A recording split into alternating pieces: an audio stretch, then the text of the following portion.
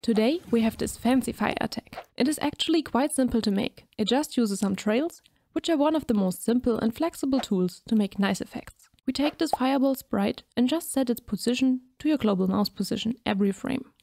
For the trail, we add a child that is a Line2D. We can already play around with this and draw a little curve. We use set as top level to make it independent from the parent. Every frame, we add the parent's global position to the line.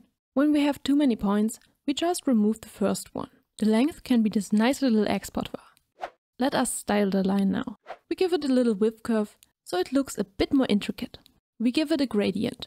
We can start and end with transparency to prevent any harsh edges. Then we can go from yellow to red to give it a fiery look.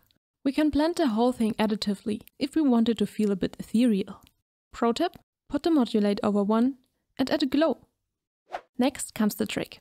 Add a Node2D in between the trail and the root node. Also add a looping auto-start animation to rotate the fireball. And let's just take another one of these. The trails now follow the superposition of the projectile movement and the rotation. Let us know if you liked this video. What effects would you like to see next?